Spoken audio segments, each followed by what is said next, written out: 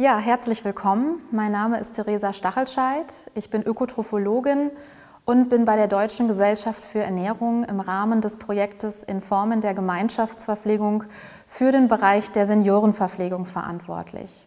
Ich freue mich sehr, Ihnen in den nächsten Jahr rund 30 Minuten den DGE-Qualitätsstandard vorzustellen, der eine ganz wesentliche Orientierungshilfe dabei ist, Mahlzeiten für ältere Menschen mit Genuss und Mehrwert anzubieten. Ich möchte den Vortrag gerne starten mit einer kurzen Geschichte, die noch einmal ein Stück weit die Bedeutung von Mahlzeiten, die Bedeutung von Essen und Trinken für ältere Menschen und insbesondere solche in Senioreneinrichtungen hervorhebt. Und das ist die Geschichte vom Kaiserschmarrn. Stellen Sie sich folgendes Szenario vor. Sie sind alt und wohnen seit knapp zwei Jahren in diesem Pflegeheimzimmer, das sie immer mehr langweilt. Natürlich könnten sie es häufiger verlassen, ganz langsam mit dem Rollator, aber dann werden sie immer mit dem Leid ihrer Nachbarn konfrontiert. Um das zu ertragen, brauchen sie einen guten Tag. Deswegen freuen sie sich oft noch vor dem Toast zum Frühstück auf das Mittagessen. In ihrer Vorstellung ist das heute ein saftiger Kaiserschmarrn mit frisch gekochtem warmen Apfelmus, in dem Sie noch ein paar unverkochte Fruchtstückchen finden. Sie können den Zimt riechen, auch den eben aufgestreuten Puderzucker sowie das warme Fett, in dem der fluffige Teig mit einer Handvoll Rosinen angebraten wurde. Es wird Mittag und Ihr Tablett wird ins Zimmer getragen. Sie erahnen es bereits. Kein Kaiserschmarrn. Es riecht nach verkochtem Kohl und undefinierbarem Fleisch mit Fertigsoße. Das gibt es ohnehin viel zu oft hier. Ihre Stimmung sinkt. Sie sind enttäuscht, raunen ihre Betreuerin an und starren lustlos auf ihr Tablett. Der Hunger ist weg, die Vorfreude erst recht. Heute gibt es wieder nichts zu essen. Denken Sie sich, klappen den Warmhaltedeckel wieder auf den Teller. Schlafen und vom Kaiserschmarrn träumen ist besser.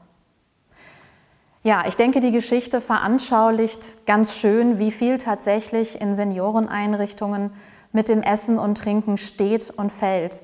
Und dass es in unsere, unser aller Sinne und vor allem im Sinne der älteren Menschen dort sein sollte, Mahlzeiten wirklich besondere Aufmerksamkeit zu schenken und diese besonders wertschätzend zusammenzustellen und anzubieten. Verpflegung findet aber nicht nur in Senioreneinrichtungen statt, sondern auch im Privathaushalt. Und an dieser Stelle kommt das Angebot von Essen auf Rädern ins Spiel. Bei Essen auf Rädern ist zum einen die Bedeutung eines gesundheitsfördernden Mittagessens herauszustellen, das ein hohes präventives Potenzial entfaltet, vor allem mit Blick auf die Vorbeugung einer Mangelernährung und den Erhalt und die Förderung eines guten Ernährungszustandes. Daneben nicht zu unterschätzen sicherlich auch die Möglichkeit sozialer Kontakte. Denn sicherlich kann es für viele ältere Menschen so sein, dass der Mahlzeitendienst häufig einer der letzten verbleibenden sozialen Kontakte ist. Wir stellen aber auch fest, dass die Versorgung mit mobilen Mahlzeitendiensten schwieriger wird, vor allem in ländlichen Regionen, dass sich der Markt eher als träge erweist. Das hat zum Beispiel den Hintergrund, dass lange Anfahrtswege und große Distanzen auch zum Teil zwischen einzelnen Kundinnen und Kunden dazu führen, dass die Auslieferung nicht mehr kostendeckend ist, dass hohe Kosten auch für Logistik, das heißt für beispielsweise Transportfahrzeuge entstehen und auf der anderen Seite demgegenüber niedrige Preisobergrenzen. Und das führt dazu, dass die Verpflegung älterer Menschen gerade in ländlichen Regionen zukünftig vor allem auch vor dem Hintergrund des demografischen Wandels eine Herausforderung wird, der wir uns mit guten und äh, innovativen Konzepten, ähm, um die wir uns kümmern müssen.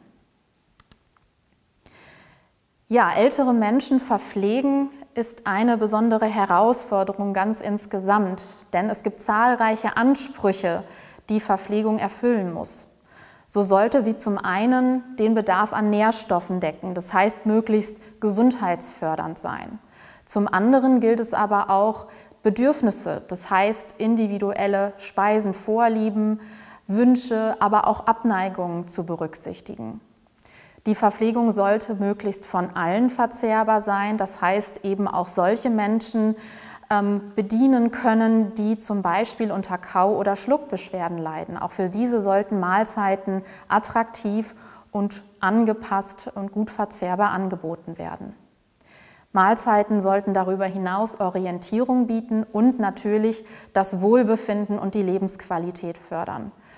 Und all diejenigen, die für die Verpflegung verantwortlich sind, müssen diesen oder können sich fragen, inwiefern sie all diesen Ansprüchen gleichermaßen gerecht werden können, wie sie das schaffen, diese Ansprüche unter einen Hut zu bekommen. Und genau an dieser Stelle unterstützt der DGE Qualitätsstandard für die Verpflegung mit Essen auf Rädern und in Senioreneinrichtungen. Der Qualitätsstandard unterstützt Verpflegungsverantwortliche, also all jene Personen, die in ihrem Bereich Verantwortung für die Verpflegung übernehmen, beim Angebot einer gesundheitsfördernden und nachhaltigen Menülinie. Damit ermöglichen sie älteren Menschen in einem zweiten Schritt eine entsprechende genussvolle Speisenauswahl. Es geht also hier wirklich um das Schaffen eines entsprechenden Angebotes.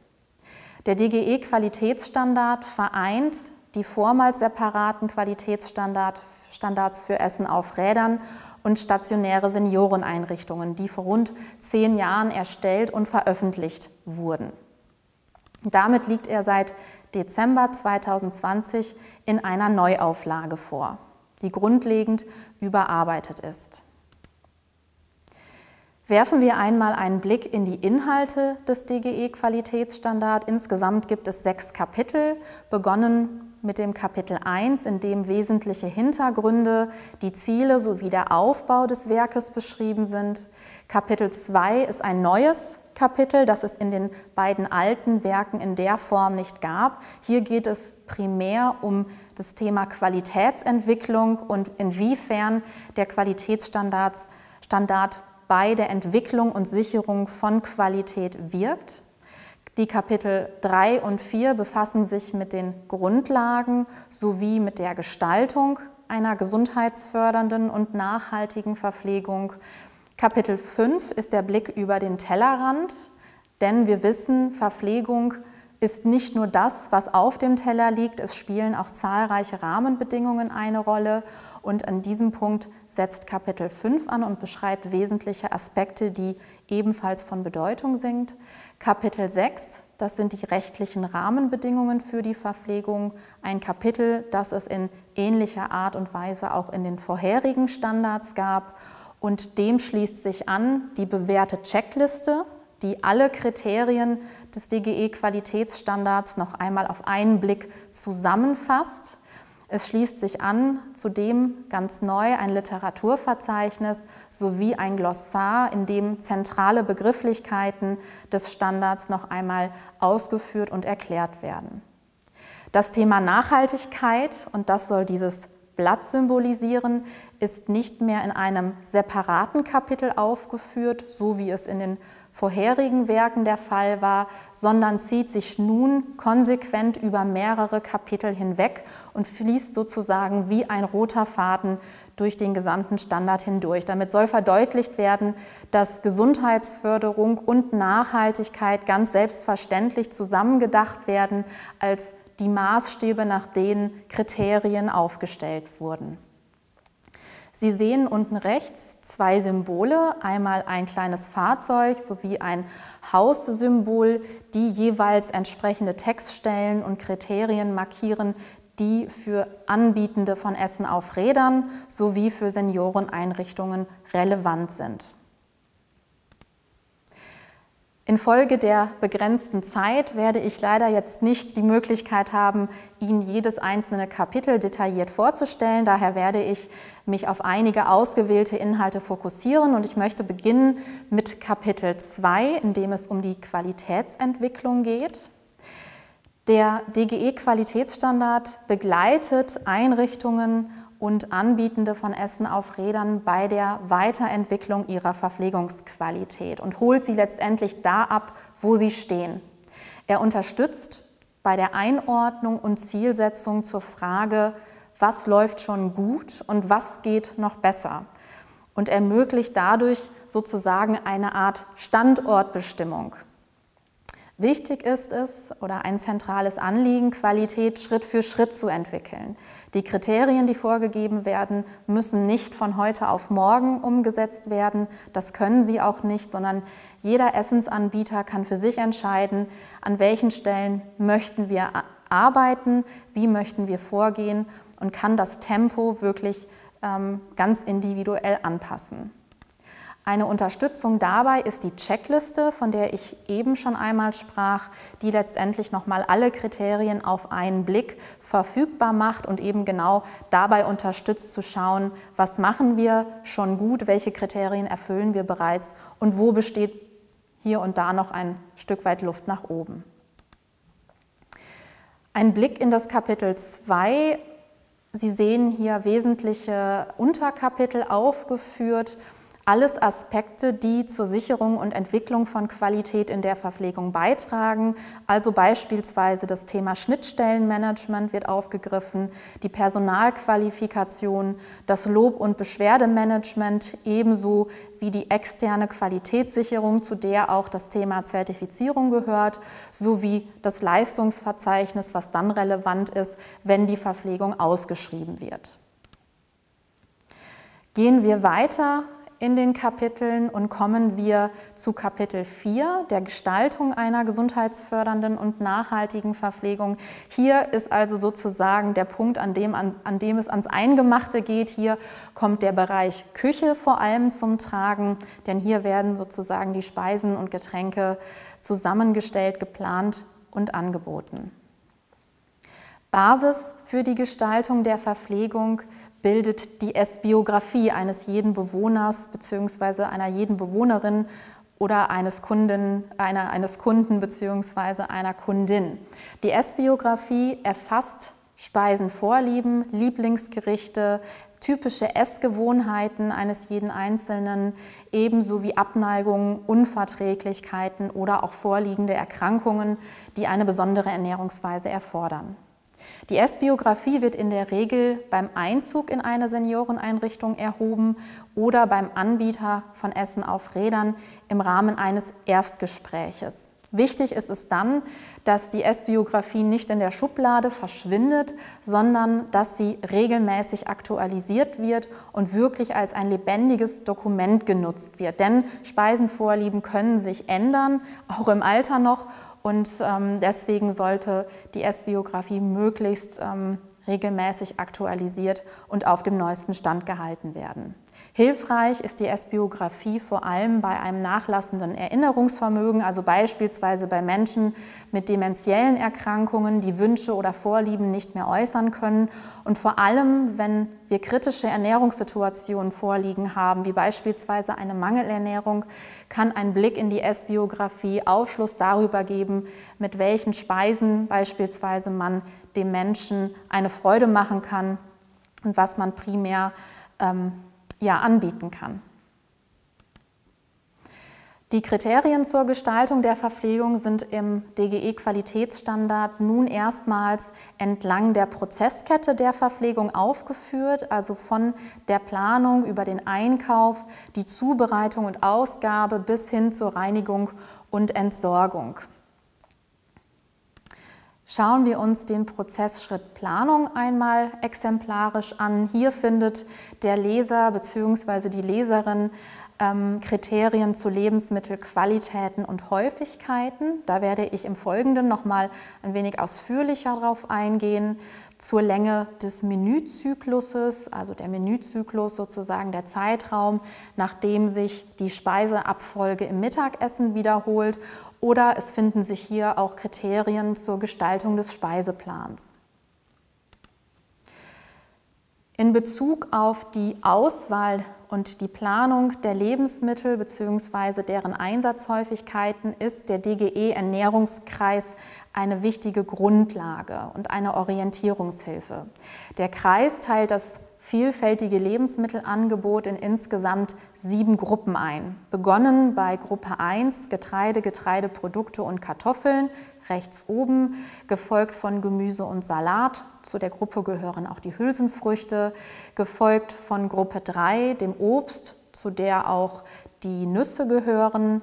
Gruppe 4 sind die Milch- und Milchprodukte, gefolgt von Fleisch, Wurst, Fisch und Eiern.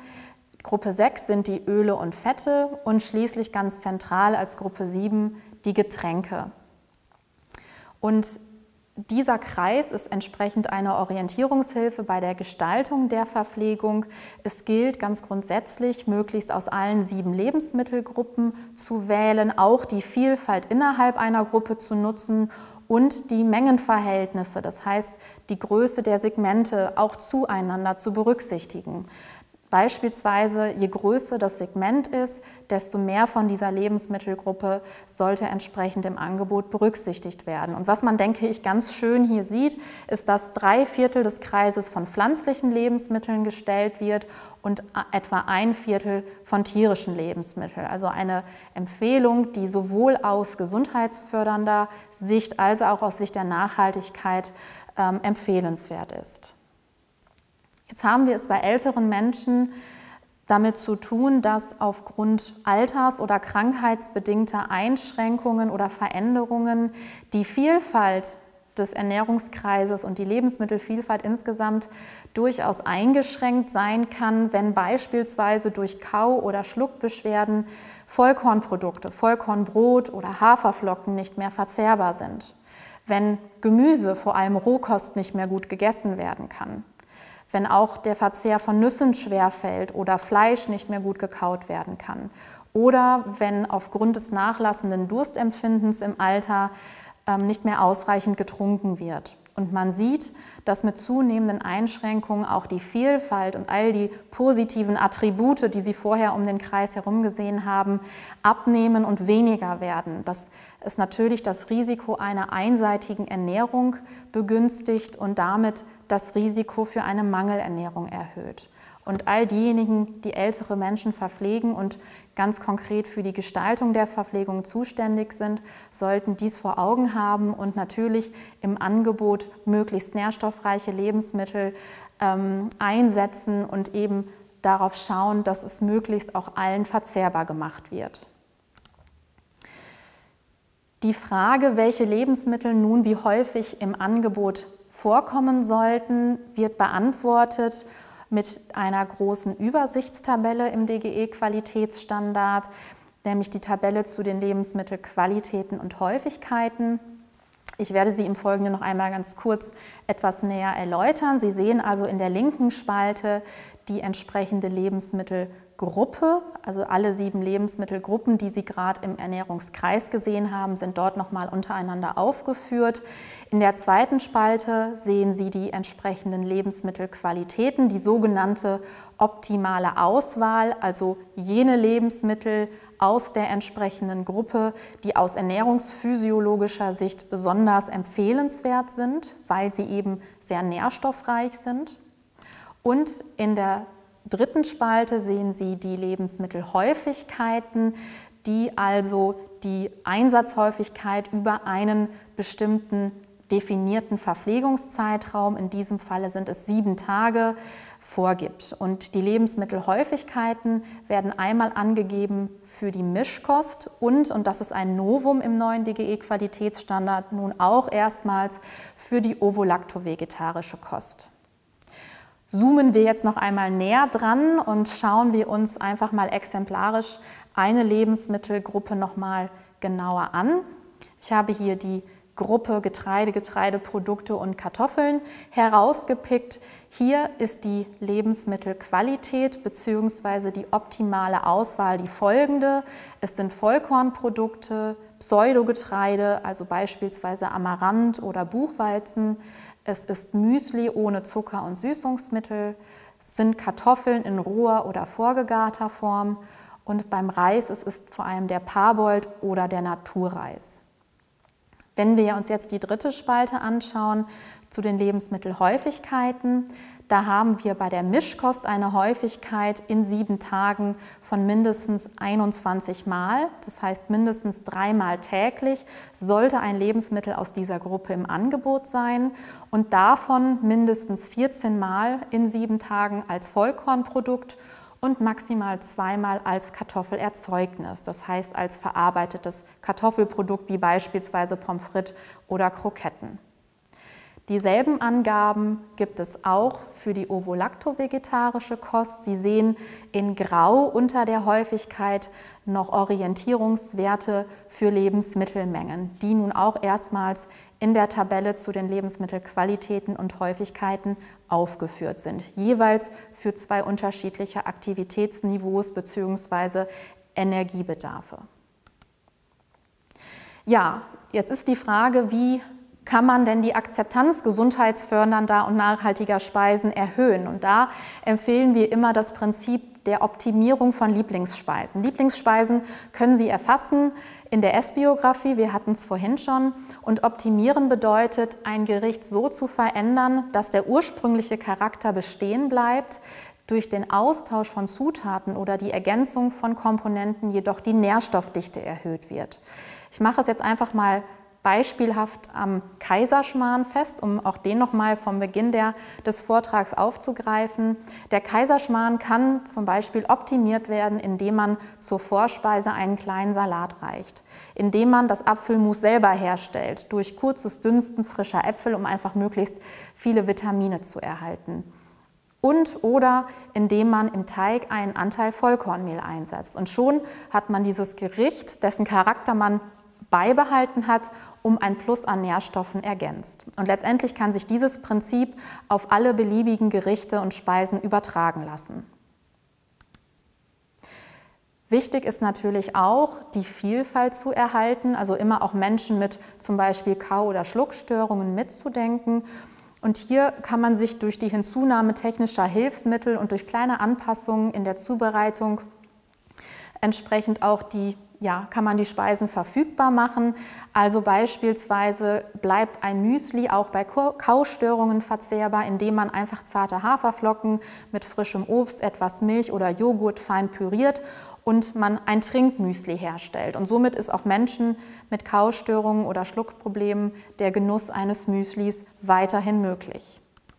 Als zweites Beispiel finden Sie hier auf dem Foto einen Hähnchenschenkel mit Gemüse und Kartoffeln und durch die Hinzunahme technischer Hilfsmittel wie beispielsweise Hochleistungsmixern, Kuttern, Spritztüll, mit denen Sie Pürees oder Schäume schön anrichten können oder auch Lebensmittelformen ist es auch möglich, dieses Gericht für Menschen mit Kau- oder Schluckstörungen attraktiv anzubieten.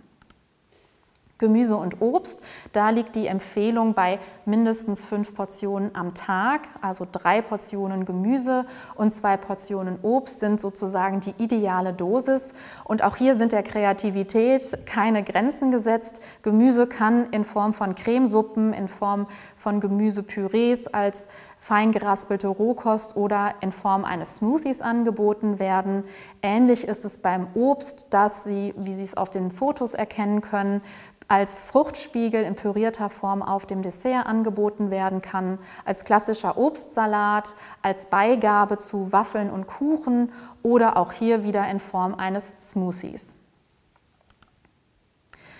Wichtig bei der Verpflegung älterer Menschen ist auch an ausreichend Eiweiß zu denken. Auch hier finden Sie Empfehlungen und Kriterien für Einsatzhäufigkeiten auch eiweißreicher Lebensmittel. Dazu gehören Milch und Milchprodukte, Fleisch, Fisch und Eier als tierische Eiweißquellen, aber auch Hülsenfrüchte und Vollkornprodukte als pflanzliche Eiweißquellen. Hülsenfrüchte und Vollkorngetreide bietet natürlich den Vorteil bzw. ist nicht nur reich an Eiweiß, sondern liefert gleichzeitig auch viele Ballaststoffe, Vitamine und Mineralstoffe.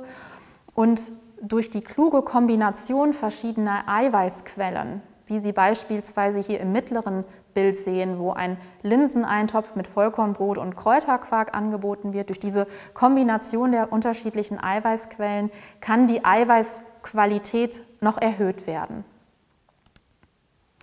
Bei Mangelernährung und Gewichtsverlust gilt es, Speisen mit Energie anzureichern, zum Beispiel durch den Einsatz hochwertiger Pflanzenöle, wozu zum Beispiel Raps- oder Leinöl gehört. Der Vorteil von Pflanzenölen ist, zum, ist vor allem, dass sie nicht nur viel Energie liefern, sondern auch die fettlöslichen Vitamine A und E. Ähnliches gilt für Nüsse und Ölsaaten bzw. entsprechendes Mus daraus, die ebenfalls zur Anreicherung hergenommen werden können. Und diese bieten eben auch den Vorteil, dass sie ungesättigte Fettsäuren liefern und daneben aber auch wertvolle ähm, Inhaltsstoffe wie Ballaststoffe, Eiweiß oder Mineralstoffe. Weiterhin eignen sich eingeweichte Trockenfrüchte zum Anreichern, Ei, Sahne oder Sahnequark sowie Butter und oder eiweißreiche Lebensmittel. Sie sehen unten rechts auf dem Foto zum Beispiel ein Kartoffelpüree, das mit pürierten Erbsen angereichert wurde. Und das sorgt nicht nur für optische und geschmackliche Abwechslung, sondern eben auch für ein Plus an Protein. Hier der Hinweis vielleicht noch, dass Kapitel 4.6 im DGE-Qualitätsstandard sowie im alten Qualitätsstandard auch die Verpflegung bei besonderen Anforderungen, wie zum Beispiel bei Mangelernährung, bei einer Demenz oder bei Kau- und Schluckstörungen thematisiert. Ja, schauen wir uns beispielhaft nochmal ein Kriterium aus dem Prozessschritt Ausgabe an, ein Kriterium, was thematisch sehr wichtig ist, nämlich hier geht es ums Trinken, um die Getränke. Getränke sind jederzeit verfügbar und sollten aktiv angeboten werden. Gerade im Alter hat das Thema Trinken natürlich eine hohe Bedeutung. Und an dieser Stelle sehen Sie auch einmal, da es sich um einen Screenshot aus dem Qualitätsstandard handelt, wie ein Kriterium oder wie die Kriterien in dem Werk aufgeführt sind, nämlich sie sind alle fett gedruckt mit einer ähm, Erläuterung darunter und alle markiert durch ein Häkchen, sodass Sie wirklich auf einen Blick erkennen können, dass es sich hier um ein Kriterium handelt. Zudem ist hier sichtbar anhand des Haussymbols, des kleinen Häuschens, was Sie hier sehen, dass es sich um ein Kriterium handelt, ähm, was in Senioreneinrichtungen gilt. Sie finden zudem im DGE-Qualitätsstandard an einigen Stellen auch das Symbol der Weltkugel, was hier unten rechts einmal abgebildet ist. Und dieses markiert Textstellen, ähm, an denen oder zu denen Sie auf unserer Internetseite www.fitimalter-dge.de unter Angabe des entsprechenden Stichwortes, in diesem Fall Getränke, noch weitere Informationen finden. Ja, verlassen wir das Kapitel 4 und kommen wir nun zum Blick über den Tellerrand. Ich hatte es ganz am Anfang schon einmal erwähnt, dass gute Verpflegung nicht nur das ist, was auf dem Teller liegt, sondern dass darum herum weitere Aspekte von Bedeutung sind, um letztendlich am Ende das Ergebnis gute Verpflegungsqualität stehen zu haben. Und diese Aspekte werden in Kapitel 5 aufgegriffen.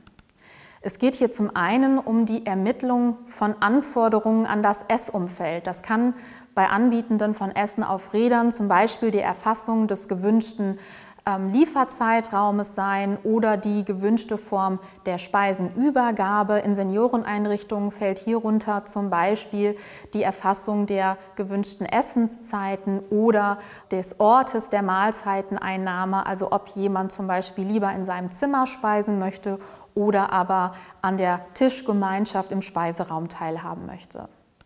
Ein weiteres Thema, was in Kapitel 5 aufgegriffen wird, ist die Gestaltung der Essumgebung, denn diese hat einen wesentlichen Einfluss darauf, mit wie viel Freude gegessen und getrunken wird.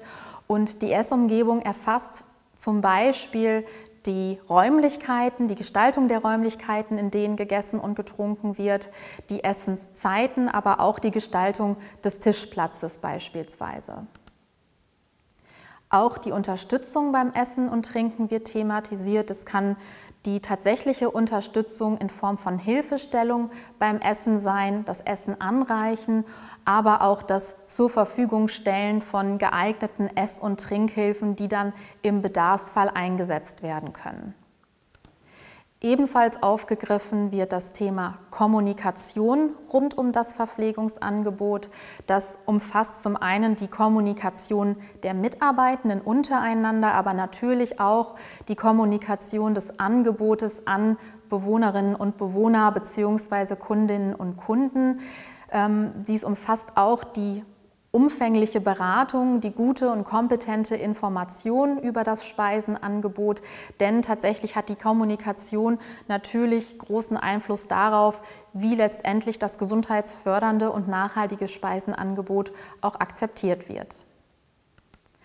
Ein letzter Punkt, der in Kapitel 5 aufgegriffen wird, ist der Einbezug älterer Menschen. Hier geht es um gemeinschaftliche Aktivitäten wie beispielsweise das gemeinsame Kochen in Wohnküchen, in das entsprechend die älteren Menschen eingebunden sein können oder die Organisation von Aktionswochen oder Sommerfesten. Und hier findet der Leser bzw. die Leserin entsprechende Informationen, was bei diesen Aktivitäten zu beachten ist.